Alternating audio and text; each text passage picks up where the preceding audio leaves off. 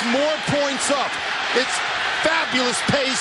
It's unbelievable if they keep this up. Hang on a second. We got to make sure he broke the plane on that, guys. And the Cowboys, I think, might challenge. Oh, it is very close. That is close. That is, that's a great dance, Ben. Let's take a peek here. Watches very closely. He has secured the football. Whoa. the plane. Secondly, if you say he didn't, and let's stop and do the news first. It's such a long play, you won't have a look right down the goal line. That is very close. The evidence would lead me to believe that he did not break the plane before getting rid of the ball. And who knows what's going on inside that helmet.